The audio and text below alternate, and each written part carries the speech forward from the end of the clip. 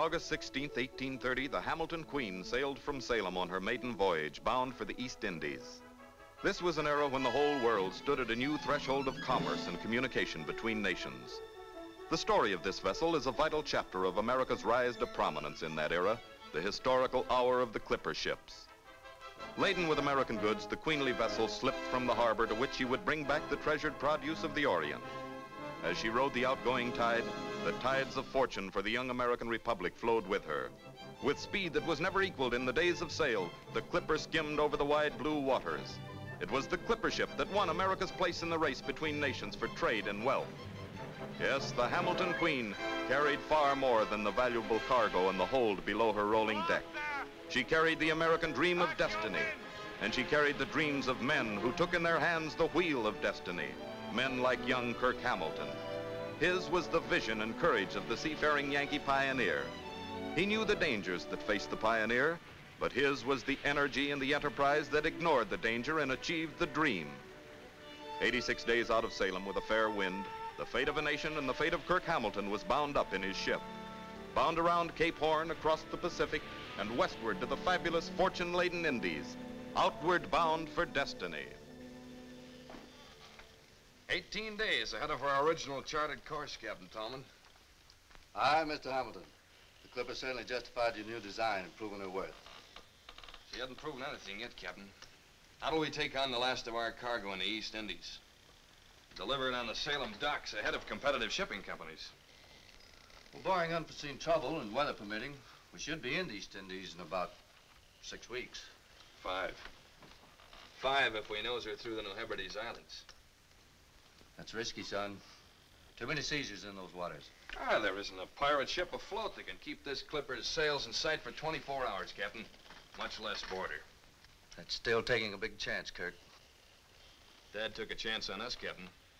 His company and everything he owns is tied up in this voyage. If we're not the first ship back in Salem, no contract.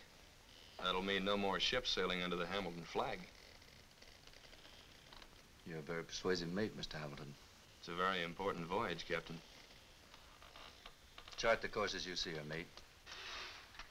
Thanks, Captain. Confound it. I never can keep any cigars around here. Salty! Salty! Salty!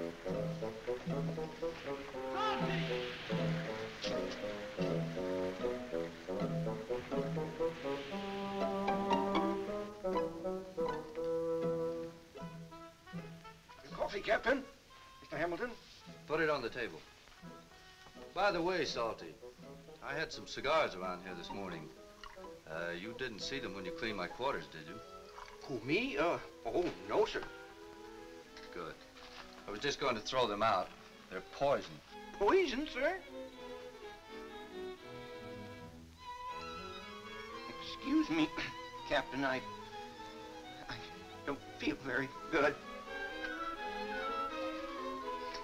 Guess you'll be missing any more cigars. At least not until tomorrow.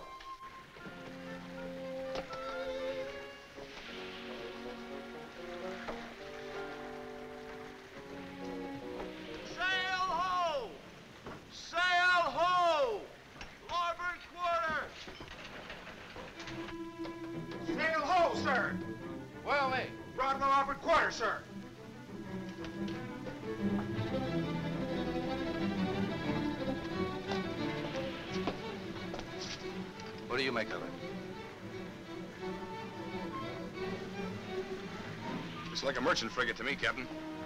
Man the sail. 'em up. Lay alive!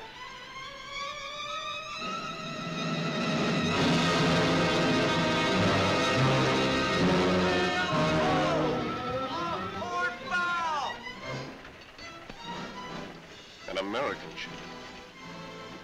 Run up an American flag. Aye, Captain Hackett. Streak of luck. They carry rich cargoes. Have the crew man the guns. We'll brag it in on them when we clear the fog bank. Aye, Captain.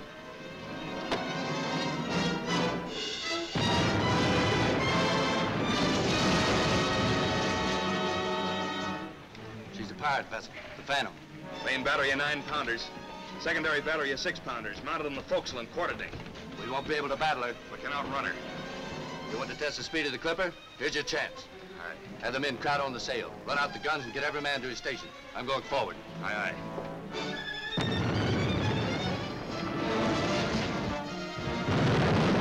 Aft, Mr. Fuller.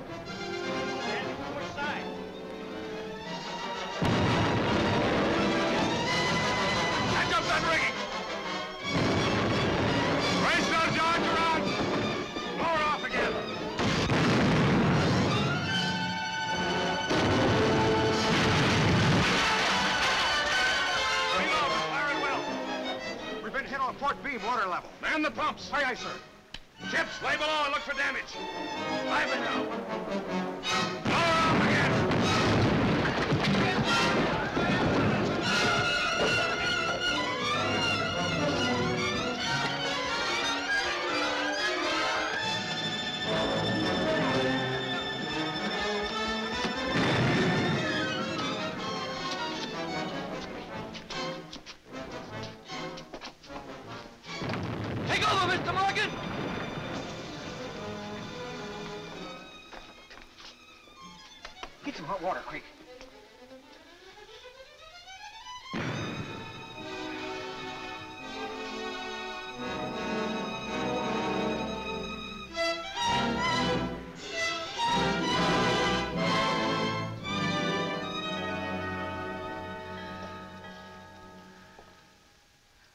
The Clipper do, Kip? Ship shape, mate. But don't try to talk. Tell me about her. She left the pirate ship last night like she had wings for sails. Pain eased any, son? I'll be up deck side in short order, Kip. There's no use fooling yourself, Kirk. You've got a nasty splinter in that left leg. We can't remove it. You need medical attention, so we're dropping anchor at Queensland. I can hold out till we reach the East Indies, Captain. Our destination is Queensland, mate. That's an order. Under a full head of sail, the Clipper veered southward from her course and raced with the wounded Kirk Hamilton for medical help. Four days later, she arrived at a tiny harbor on the coast of northeast Queensland and dropped anchor. The disturbing news of her escape spread quickly. This community had been attacked before by the pirates, whose return was greatly feared by the peaceful settlers. But they welcomed the Yankee seamen as fellow pioneers, and in a simple shack, Kirk Hamilton was made as comfortable as his painful injury permitted.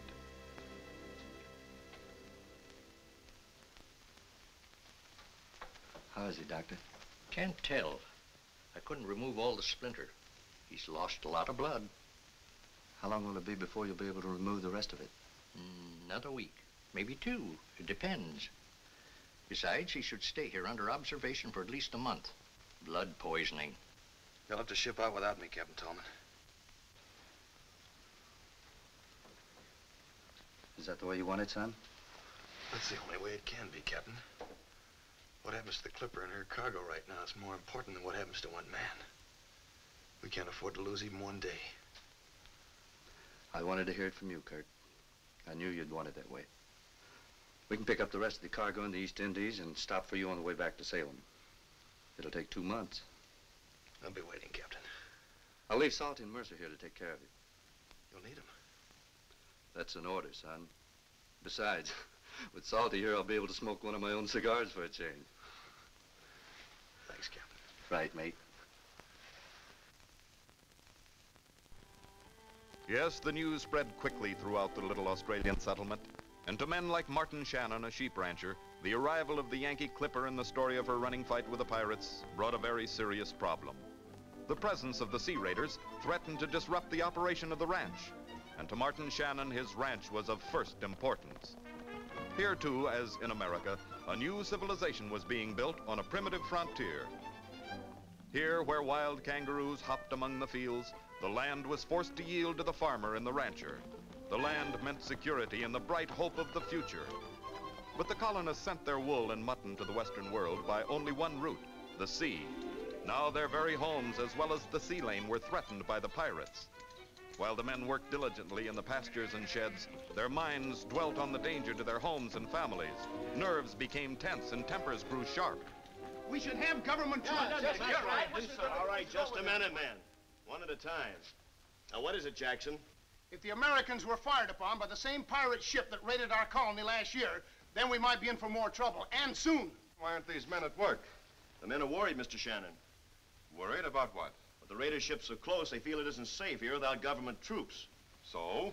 Unless the magistrate does something, they're moving back to the city. I see. Well, men, Magistrate Jeffries is on his way right now to Brisbane to request the governor's help. I just saw the American ship, and she's ready to sail. Now, if any of you men are afraid, get out. But if you're the men I think you are, you'll stay. And you'll forget this nonsense and get back to work with the rest of the men. Let me have those shears. Yeah, I think we better stay. All right, come on, go back. See about it, eh?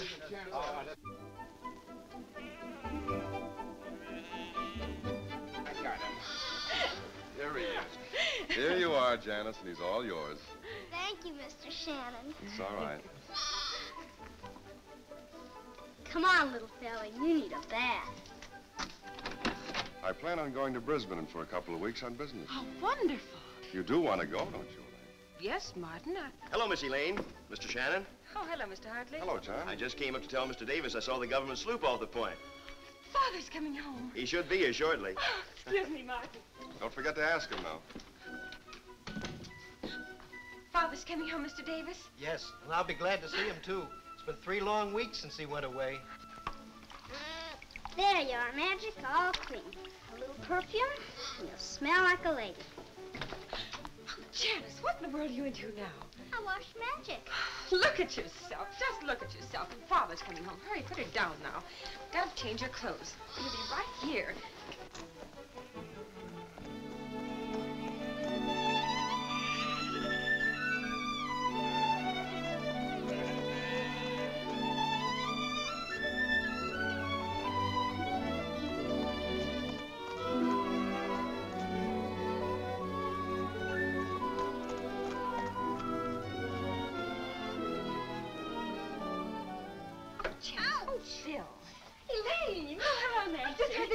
That father's coming home. Yes, he'll be here shortly. Oh, I'm just dying to see how Mr. Shannon will like your new clothes. Oh, you're such a lucky girl. Thank you. Elaine. Elaine, I just saw the Yankee sailor. So, what about it? The way he smokes. The way he smokes? It's the way he holds it, Elaine. Oh, and the way he walks. The way he walks? Yes, he limps a little. He limps? The way he limps, Elaine. I don't care if he does limp. I think he's great. Janice! I don't care. I'm going to marry Mr. Hamilton. You're what?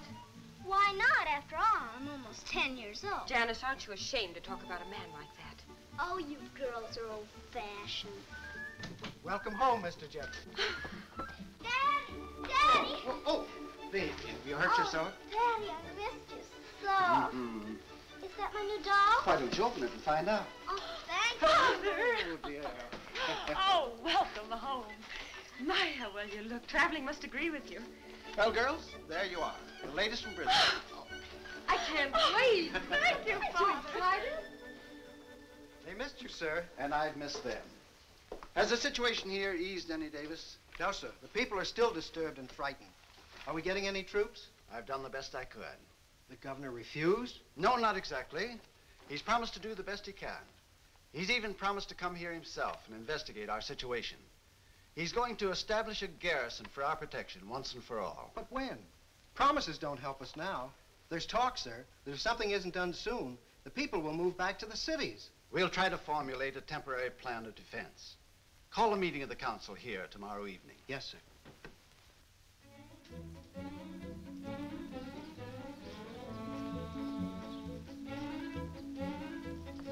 What's in the basket? Oh, something. Where are you going? Oh, places.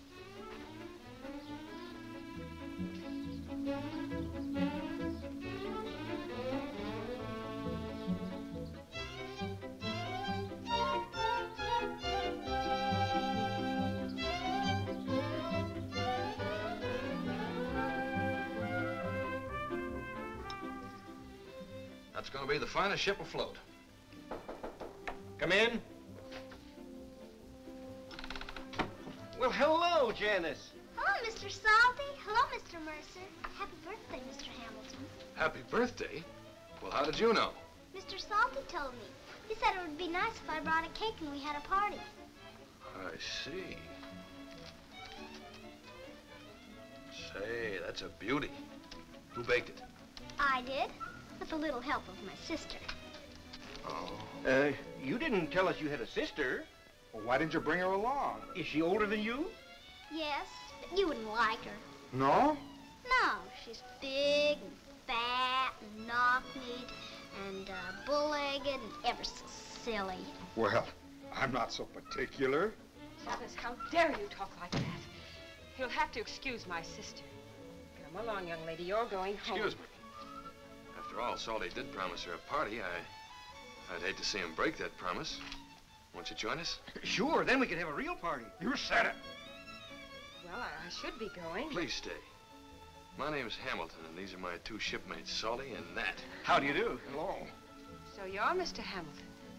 I've heard a lot about you from Janice. You're Talking behind my back, young lady. Have I? Well, what are you standing there for? Get a bucket of water. We'll brew up some tea. Wait a minute. How about you getting the water for a change? I've got plenty to do here. I think we need some flowers. Come on, baby. I'll be right back, Mr. Hamilton. I I want to apologize for the way I... Well, I stormed in here. I must have seemed rather awful. I didn't think so. On the contrary, it was a very pleasant surprise. Yours? That's the next ship I plan to build. How is it with men who build ships? I mean, do you form an attachment for the ships you build, or, or do you feel the same for each one? Well, there's an attachment you feel for every ship you build. When you see her slide down the ways, take shape on the water. But isn't there one ship above all the others that's your favorite? Yes. The first one. It's like a first love. You'll never forget her. Why do you talk about a ship as her? Well, to a seagoing man, she's a lady. Beautiful, graceful, proud and spirited. Trim lines. And when you have a real ship like a real lady, you know you're safe in her arms. You talk as though you might marry one. Five minutes ago, I might have. Do you always talk like this, Mr. Hamilton? Not always. Hello, Mr. Shannon. How's Hamilton? Oh, just fine. We're all fine. Matter of fact, we're beginning to enjoy your place. What changed your mind? Well, we're having a party down at the cabin. Tea and cake, all the trimmings. And the magistrate's daughter. Janice? And her sister. The big one. Elaine? Yeah, that's her. We've been waiting for you, Mr. Shannon. You have all the men ready? They're inside. We'll be with you in a minute, John. Right. Well, so long, Mr. Shannon. If you get a chance, drop up.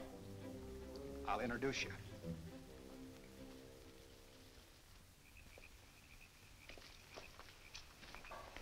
Janice, why don't you say goodnight to Mr. Hamilton and run along?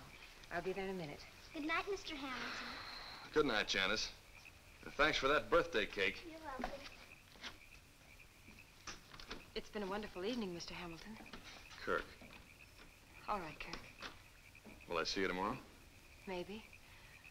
Why don't you come in now? I know my father'd like to meet you. You think so?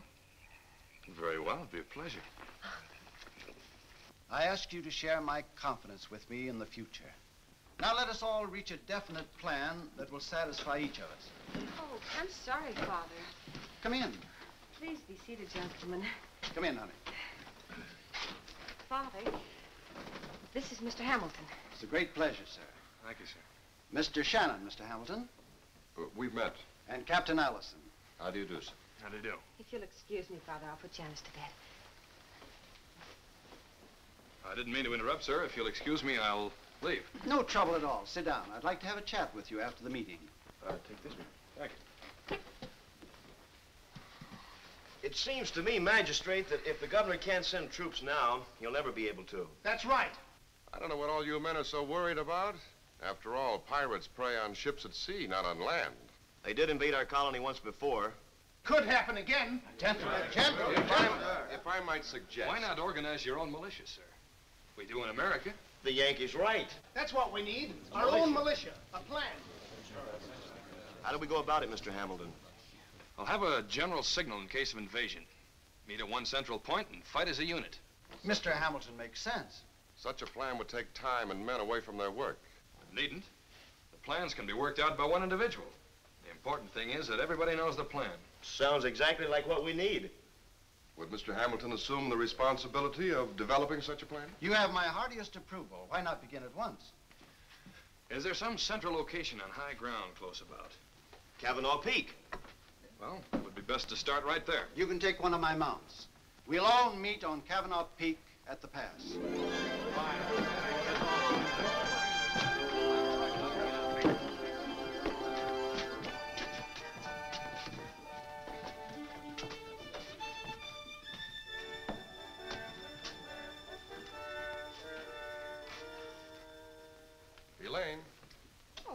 Going with the others? Yes, but I thought I'd stop for a few moments to uh, tell you how beautiful you are. Especially so tonight. Well, thank you, Martin. Elaine, I've decided to announce our engagement before we leave for Brisbane. Martin, we agreed to wait. Is there any reason why I shouldn't announce it? No, I... Well, it's just that I see no reason to change our plans now. Since this Mr. Hamilton has come into our lives, uh, you've changed. I hardly know you. My Martin, I think you're jealous. Of course I'm jealous. Why shouldn't I be? I love you, and I always will love you. Don't let a momentary infatuation make you do something foolish. He's from a different world. He has his home and his obligations. Your home is here with us, with your father, Janice, and me. I'm aware of my obligations, Martin. I always will be. He'll be leaving soon. Can't you see that it won't work out? I see no reason to change our plans now. Well, maybe at the dance you might feel differently about it. Let's talk about it then.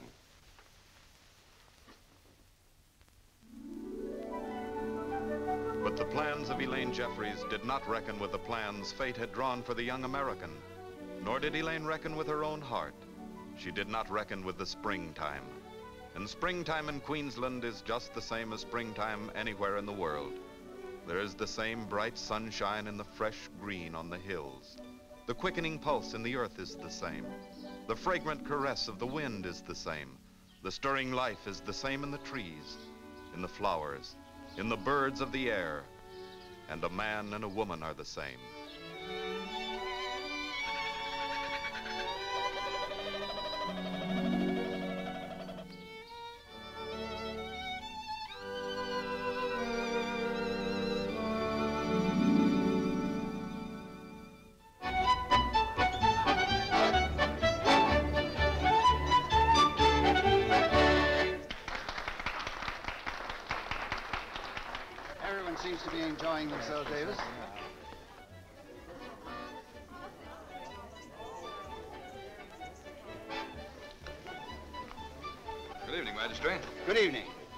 You and your mates are enjoying your stay. We are, sir. Excuse me. Tell me, have you ever kissed a Blarney Stone? Have I ever kissed a Blarney Stone? and the Blarney Stone is not all I'm going to be kissing. Close your eyes, getting salty. Honey, you go tell Elaine that I want to see her, will you? All right. well, Let's dance, Captain Salty.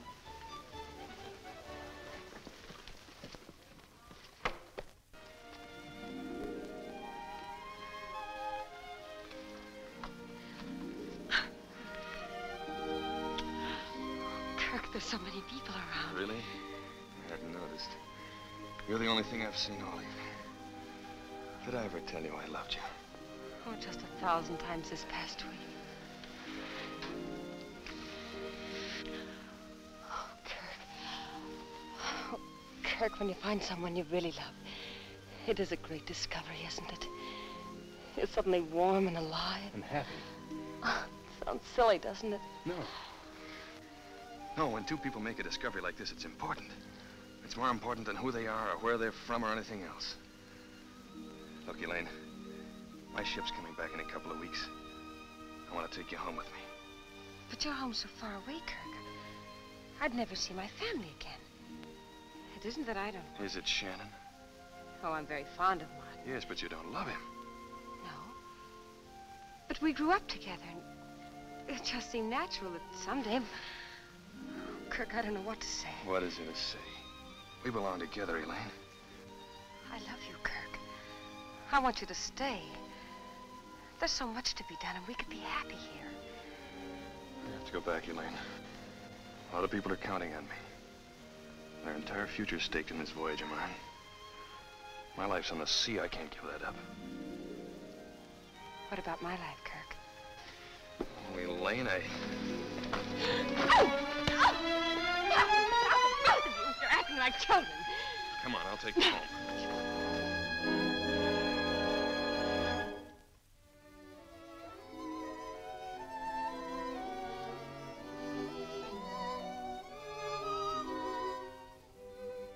I have to go back. A lot of people are counting on me. Their entire future is staked in this voyage of mine. My life's on the sea. I can't give I love you and I always will love you. Don't let a momentary infatuation make you do something foolish. He's from a different world. He has his home and his obligations. Your home is here with us, with your father, Janice, and me.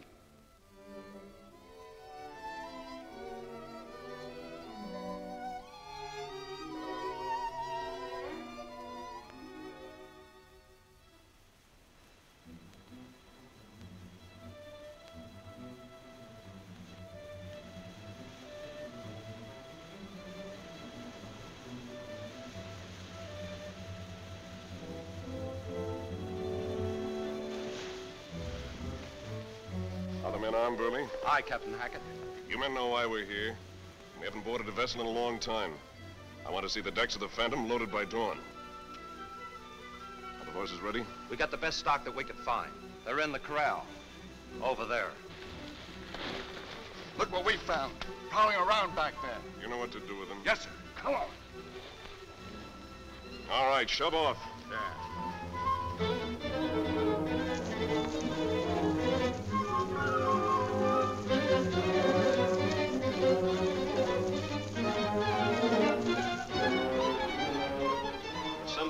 party, Wilson? I'll say. Best one I've seen around here in a long... Which one of you forgot to close the gate on the horses? We didn't leave it open, Mr. Shannon. Well, it's open now. And the horses are gone. Go get them. Yes, sir. And be sure to get them all back in the corral. Is Mr. Shannon in there? Yes, ma'am. Elaine, what are you doing here? Martin, you were right. My place is here with you. I want you to take me to Brisbane. We'll go next week. No, Martin, now. All right. Tomorrow.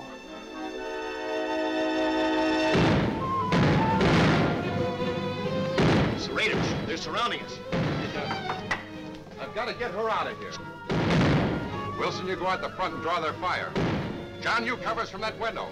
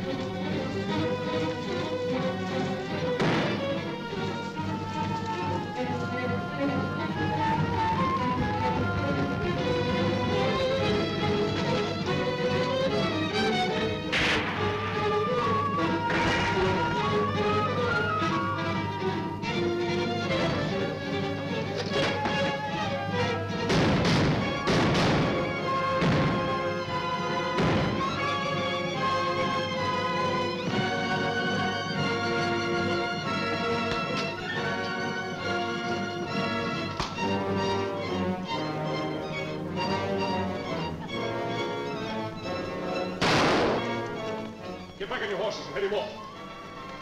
The magistrate's only thought was for Elaine and Janice. Momentarily evading the attackers, he galloped furiously to seek the two girls. Jeffrey's horse, seeming to share his urgency, ran as though pursued by the devil himself. And devils they were, clamoring hot upon his heels. The magistrate was riding for his life and knew it.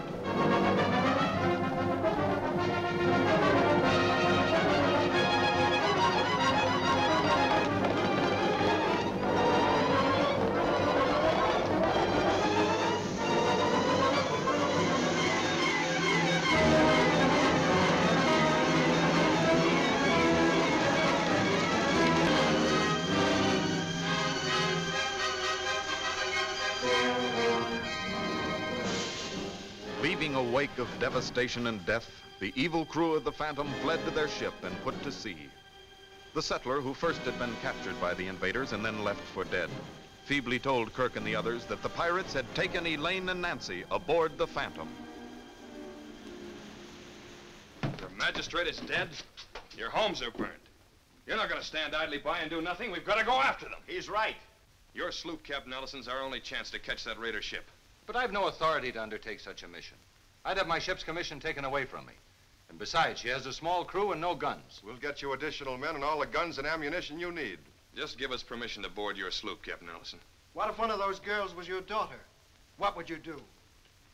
Oh, hang the orders. We'll go. You get your men and guns and ammunition. Have the men stand by to pull anchor. On the double. I'll see you at the landing.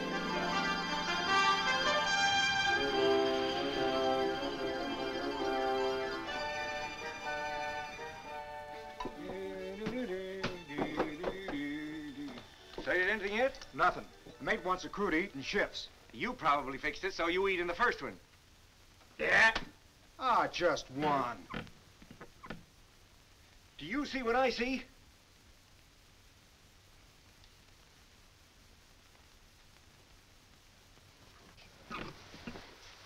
Salty. Oh, Janice, Janice, am I glad to see you, but here. Mr. Shannon.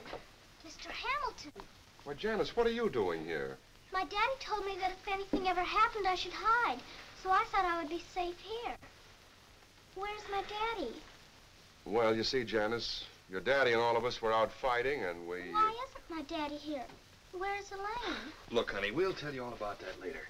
Right now, how about something nice to eat? How about a nice hot bowl of soup, huh? Salty has it all ready. I could use a bit of a meal myself. What'll it be, Salty? Well, we have soup and uh, cheese and uh, cheese. Well, Janice will have a bowl of soup. I really don't feel like eating, Mr. Hamilton.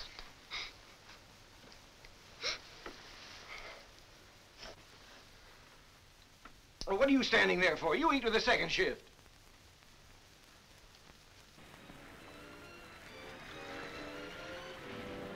You must be proud of yourself, Captain.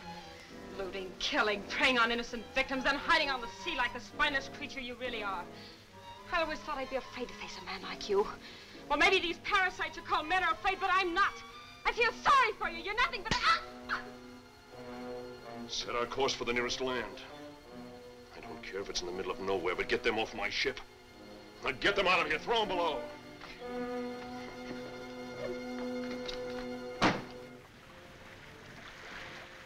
Seems to be changing her course. That may be to our advantage. How do you figure? Well, as long as we can keep her in our sights, we're all right. We're getting closer. She's about two hours away. That gives us plenty of time to chart our strategy. Make sure that every man knows his station.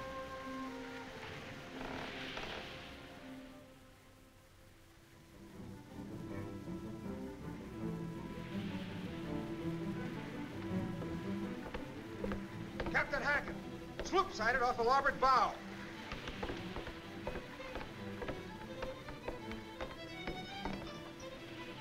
There she is, off the starboard bow. Roll out the nine pounders. We'll blast her out of the sea. As long as the fog holds, they can't bracket their fire on us. Aye. The Saints are with us, Hamilton. Now, men, I don't have to tell you what you're up against. You know. You've seen these men fight. They've got no rules. Don't give them a chance. All right, to your stations. Hold her steady.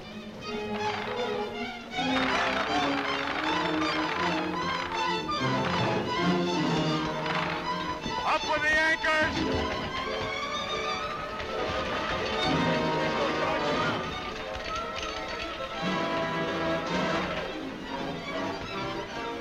Right, Salty.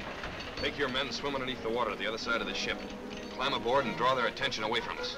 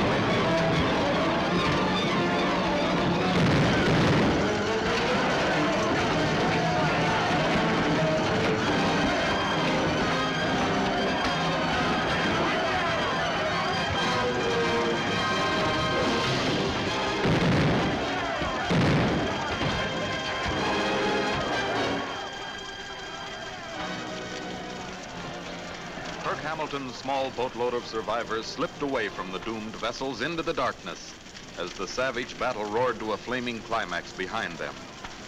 Into the immense arms of the dark sea, through the cold night they rowed and drifted aimlessly, without compass or chart, at the mercy of wind and current. Through a blistering day and another night, they drifted helpless.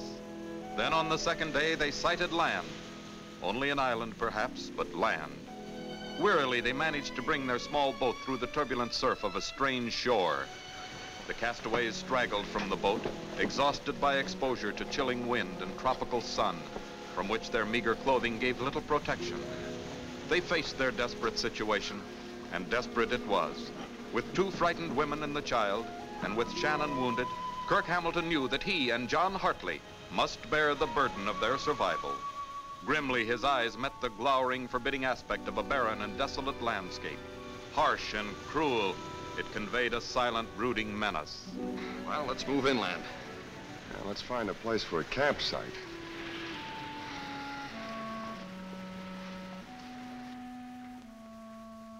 The tropical sky that night looked down on a ragged, sprawling little group of people who were blind to its beauty. In the deep sleep of complete exhaustion, they were also deaf to the wind and to the raging surf that thundered behind them, as if it had been cheated of its human prey. In the morning, the immediate concern of the party was food and water, and the harsh, forbidding land. The silent, watching vultures seemed to know, seemed to be waiting. Feeling better? It's just like a nightmare. It's hard to believe it ever happened. Don't talk about it, Martin. We're on land now. Things will work out. I'm glad we're together. Seeking food along the beach, Kirk Hamilton discovered new tragedy.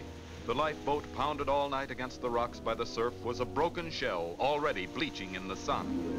Meanwhile, John Hartley from a nearby hilltop stared in dismay across a vast expanse of shimmering, burning desert.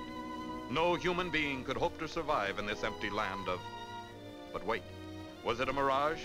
Or did that dark patch in the distance mean vegetation? Trees? It must be, and trees meant fresh water.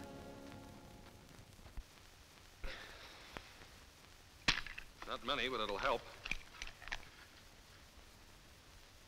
Did you find any fresh water? No. You have any idea where we are, Hamilton? Somewhere in the Dutch East Indies. It's typical of the lower island group. Barren, windswept, very little vegetation. Well, what are we going to do? Nancy. Mr. Hamilton! Mr. Hamilton! Water! I saw it from the hilltop. Plenty of it. Where? To the east, about 10 or 15 miles. Trees in a valley, lot of them. Can take the boat to the other side of the island. It can't be too far inland. Well, let's get started. There's no boat. What? Smashed up on the rocks last night. But that shouldn't stop us from moving on. Well, with luck, we can make it over those mountains in one day. It won't be easy, but it's our only chance. Well, what are we waiting for? Let's go. All right.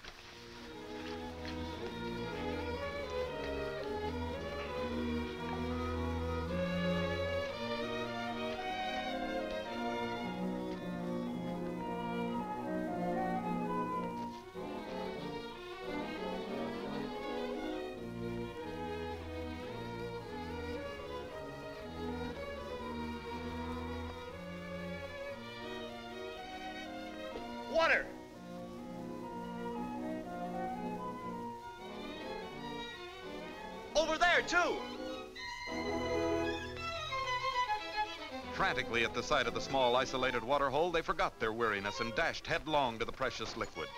But even wearier than he was thirsty, Shannon stopped in his tracks to rest. The others flung themselves feverishly down the slope to quench the agony of parched lips and swollen tongues, threw themselves avidly at the edge of the pool. Water. They plunged their burning faces to the wonderful water and drank with delirious joy. Elaine hurried with a brimming pailful to the exhausted Martin Shannon. Refreshed, their spirits lifted with hope. Hope that they could conquer the desert and cross to the green valley beyond. Children know no danger. The whole earth is their playground, the world of living things their playmates. And what could be more fascinating than a tiny desert hop toad begging a little girl to come and play?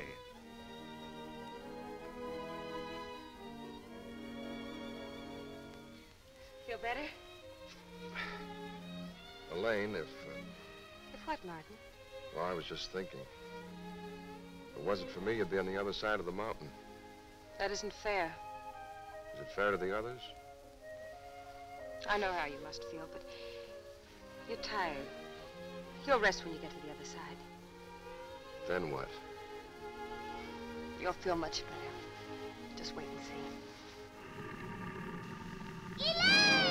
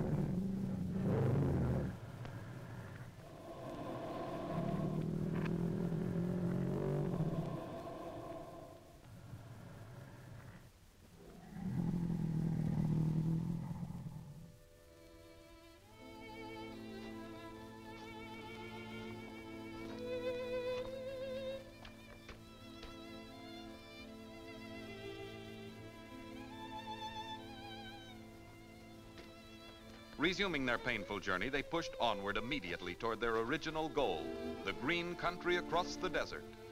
They trudged on, footsore, aching in every muscle.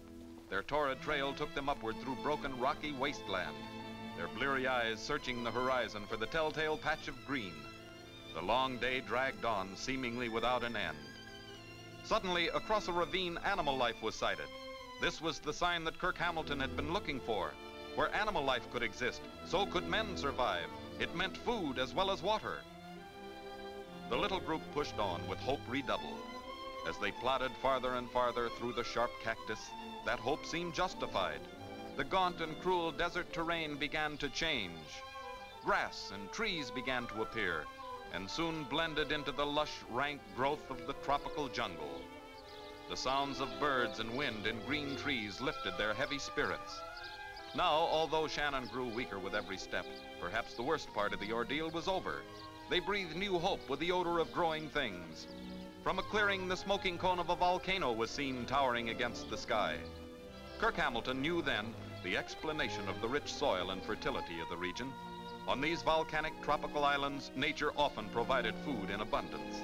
And Kirk's judgment was correct. There, just ahead, was wild fruit and berry bushes, food at last. They rushed forward like any famished animals. As fast as their weary legs could carry them, they raced for the growing food with hungry eyes, as though fearful that the bounty might vanish like a desert mirage. Greedily, they crammed the tasty morsels, grabbing eager handfuls right and left. The simple fruits were the most royal feast they had ever known. Then, as the pangs of hunger faded, the little band of castaways relaxed.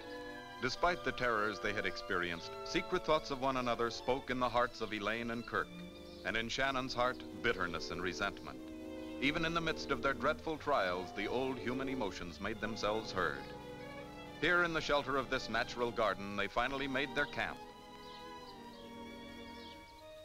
Meanwhile, the Hamilton Queen had returned from the East Indies to take Kirk aboard for the homeward voyage. Now Captain Tallman learned of the battle with the pirates and the fate of his young friend. It was myself and seven settlers and Salty here were spotted by a merchant ship and picked up. And the others? Well, both ships were in flames. We, we saw them go under. What was your position at that time, Captain? Longitude 131 east, latitude 8 south. The lower part of the Dutch East Indies group. It's possible they may have drifted onto one of those islands in that vicinity. I wouldn't hold out any false hopes, Captain Tallman. Thank you, gentlemen, for the briefing. I think I'll take the Clipper and do a little scouting in that area. If they made land, it's possible they might still be alive. Thank you, Captain. Right, sir. Mr. Davis, come on, Salty.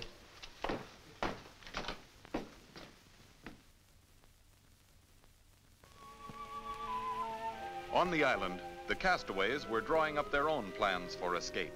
A raft had been built, and a course was being charted. We'll shove off at dawn and set our course south. When we reach the point of Queensland, we should be able to make our way down the coast and back to the colony. You better gather all the food you can. You'll need it. I'll tell the others.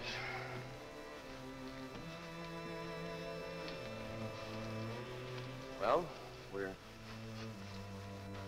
We're shoving off at dawn. Home. I can't believe it. After all, Hamilton's a seagoing man, isn't he? He should know his business. At least we can be thankful for that. What are you thinking? I'm not thinking. I'm praying. We have plenty to do. Let's get all the melons and berries we can find. I'll help you. Is there really a chance, Kirk? It's our only chance. We've been here over two weeks now. Martin needs care and attention. Do you think he can stand the trip? He has everything to live for. As long as the good weather holds, we have at least an even break. Hey, Hamilton, come here a minute.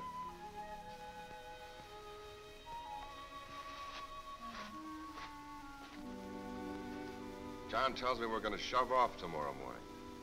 Now tell me how are the chances and tell it to me straight. Don't worry, Shannon. I'll see that you and Elaine get back.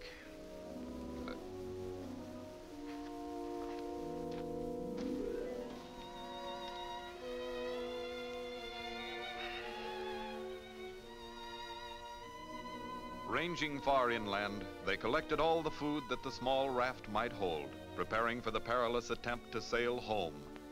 They were certain that risking the sea on the frail craft would be the greatest challenge they had yet to face. Janice, honey, that's no way to be. We're going home now. Daddy were alive, he wouldn't. I know. Daddy would want me to be brave. That's right, honey. What's that?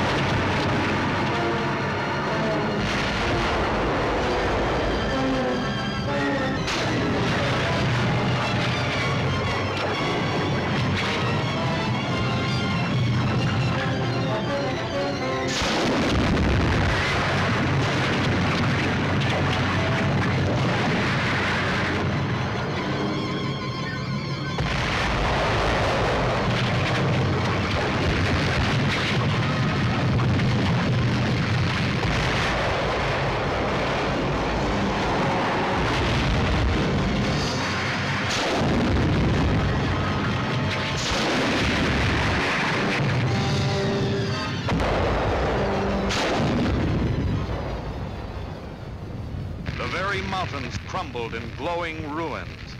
As in the grip of a hideous nightmare, they watched the white-hot river of lava that smothered the charred jungle like the molten marrow of the earth. Only as the dark sky began to gray with the approach of morning were they able to number the disastrous hours that had passed. And at long last, as the worn and beaten little group lifted their red-rimmed eyes to the dust-clouded dawn, the incredible eruption began to subside. The smoldering ruin of the shattered island was overhung by a giant mushroom of volcanic dust and ash, revealing the catastrophe far out to sea.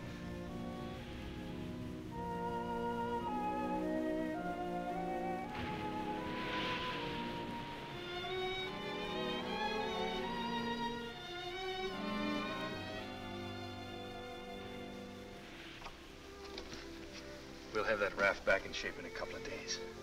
Yeah. I hope you make it. Shannon, you're gonna be with us. Never mind that. Just take care of Elaine.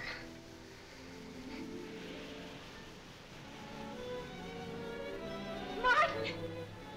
Let's do it. Oh, no.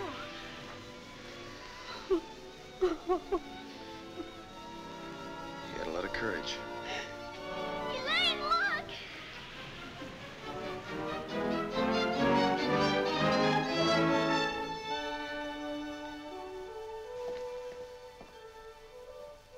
Nothing could be alive on that island, Captain Tallman.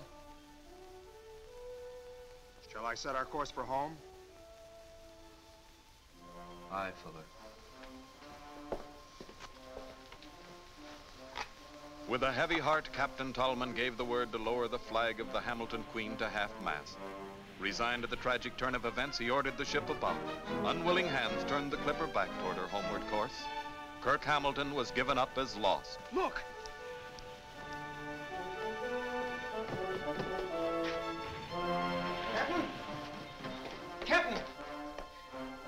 Some on the lower part of the island.